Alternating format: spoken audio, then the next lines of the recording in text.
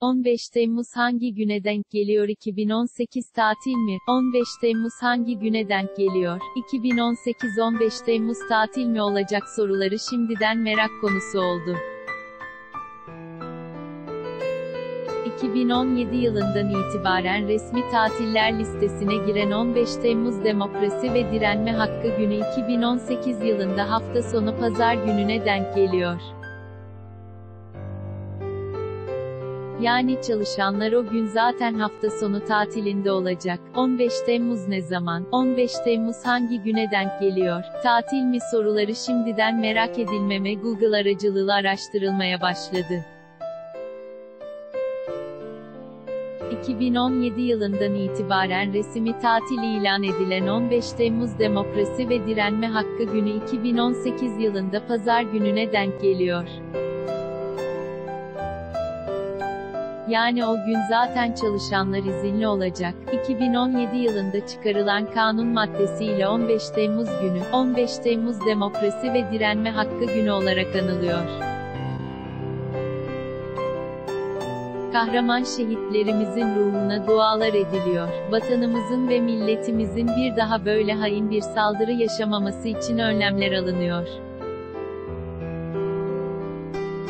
15 Temmuz Demokrasi ve Direnme Hakkı Günü resmi tatil olacak. Bu yıl 15 Temmuz günü pazar gününe denk geldiği için okullar tatil olmayacak.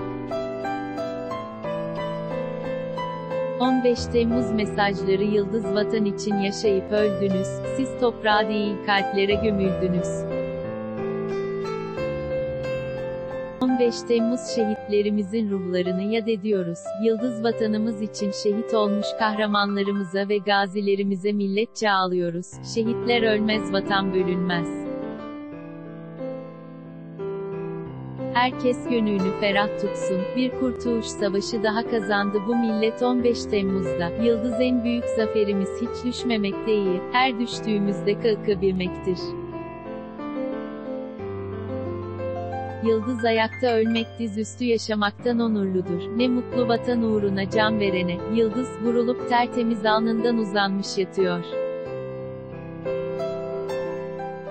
Bir hilal uğruna ya Rabbe ne güneşler batıyor. Yıldız 15 Temmuz 2016'da yaşadığımız menfur darbe girişiminde hayatını kaybetmiş şehitlerimize Allah'tan rahmet diler. 15 Temmuz Demokrasi ve Milli Birlik Günü'nü içtenlikle kutlarız.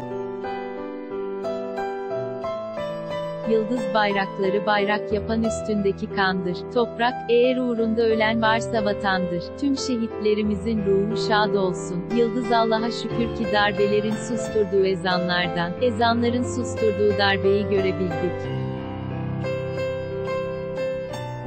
Yıldız vatan için katlanılan ölüm kadar, tatlı ve şerefli bir ölüm var mıdır? 15 Temmuz şehitlerimiz ve tüm şehitlerimizi yad ediyoruz Yıldız şehidim ruhun göklerde nöbette, kanın al bayrakla en yükseklerde.